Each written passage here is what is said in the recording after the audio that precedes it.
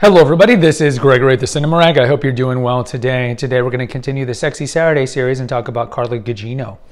Now, before we begin, if you appreciate my content, please hit the like button, post a comment, subscribe if you haven't done so already, and hit the notification bell because these episodes will come fresh to you, and it just helps with the algorithm. Now, you might be like, who, who's Carla Gugino? Now, understand, like, the original Sexy Saturday series, again, if you're new to this channel, I know this episode is probably not being released on a Saturday, but when it was in, on podcast form, and you can find the first 200 episodes still on Apple and Spotify, every Saturday I did a sexy Saturday where I talk about a woman that I find attractive. So that's where the term comes from. So I did 40 actresses before Carla Gugino. So even though Carla Gugino might be sexy Saturday number, uh, you know, 15 by the time this comes out in video form, remember a lot of those podcast episodes are being moved over and they're not all going to be released until probably by February. Either way, Carla Gugino I find attractive. She's got these beautiful green eyes. You don't find a lot of people that have truly green eyes. You'll find people like my brother has hazel eyes, but to see somebody with, with green eyes is, is rare. So Gugino is Italian, as the name would suggest. This girl's been working it. I mean, you can. She was born in 71 and she was a, a, child actress. Look at some of these shows, and these were shows that I used to love. She was on Who's the Boss? Webster, Alf, Saved by the Bell, Falcon Crest, the Ferris Bueller spinoff, the one where Aniston was in it, Doogie Howser, The Wonder Years. I mean, it's just crazy. And then, then she got into more legitimate movies. I remember probably first seeing her, even though she was doing a lot of movies like Troop Beverly Hills and stuff when she was like a teenager.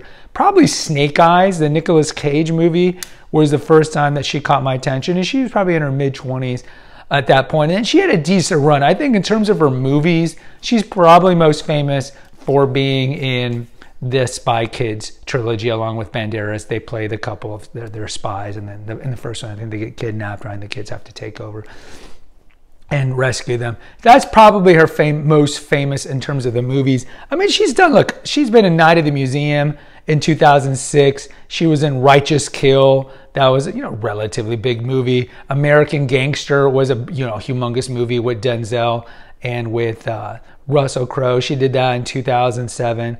She was in The Watchmen in 2009. It's not like this woman hasn't done movies. 2011, she's in Sucker Punch uh, and so forth. Man of Steel in 2013 and then she's in Batman versus Superman in 2014. So she's doing a lot of that Zack Snyder stuff and she's in Gunpowder Milkshake in 2021. And there's just a lot of movies that she does. And kudos to her because she still works. And this woman is a hustler. She's 52 years old and she's been working since the late 80s. In terms of her television, I probably remember her television aside from that run. And I don't remember her being on Alf and all these shows that I used to watch. But on Entourage, we just talked about Entourage, a TV show I love. She was in season 3B. She plays after this is not a spoiler, it's been 15 years, where Vince uh, fires Ari, she is the agent that is hired by him and by E. And, you know, shockingly, because Vince is attractive and a sex addict, he ends up sleeping with her. And, you know, this is like 2006, 2007. So she's, you know, uh, 35 at this point. And they show some scenes of her, she's smoking. She's smoking at 35. And then later on, she's in Californication, another TV show that I appreciated quite a bit, and she plays a love interest to David Duchovny, in, uh, in, in I think it's like season four. Great show. I might do an episode on Californication. And the woman has been on the show Justified as well. I mean, the woman gets work. You recognize her face. So why do I find her beautiful? I mean, she's got a gorgeous face, especially when she was younger. She kind of has this mixture of a little Jennifer Connelly, because she is curvy, Young Connelly was very curvy before she got too austere and skinny. She's got a little Connelly in her. Nay, I say she looks a little Eva Green, little Eva Green. And uh, to me, she's got she's like a mixture of Marion Cotillard, another sexy Saturday. I don't think that episode's been released yet.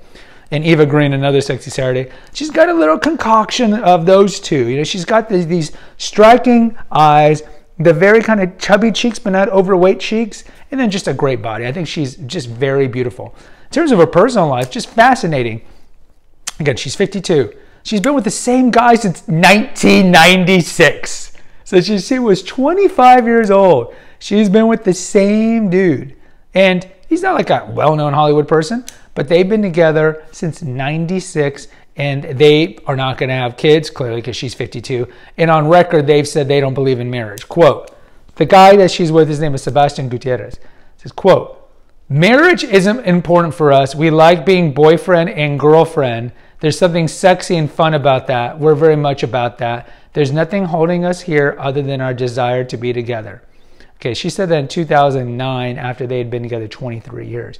Well, I don't know. You got to be careful because now you're in your 50s. And Sebastian, I mean, we know it's it's not just Hollywood has a history of of putting women to the pasture when they get in their 50s, but let's say men with options sometimes do this. And if you're not in the confines of marriage, I'm not saying that Sebastian's going to do this, and as of I know right now, he hasn't done this. But the idea of boyfriend girlfriend maybe works when you're when you're 27, 28. When you're 52, I don't know. But look, Goldie Hawn and Kurt Russell have been doing this forever, so I wish her the best. Uh, it's sad she never had kids, kind of like Heather Graham and Renee Zellweger, these other beautiful women, both of which are Sexy Saturdays here and on the podcast. That it feels like their DNA has been wasted in the fact that they haven't had kids. But you know, Carla, you are a beautiful woman and you work hard, you hustle. You've been working for, I mean, close to more than 30 years, 35 years. And I do wish you the best. And I just think you're, especially at your peak, just ravishingly beautiful. Guys, post in the comments. I'd like to hear from you. What's your take on Carla Gugino? Until next time, take care. God bless and pray.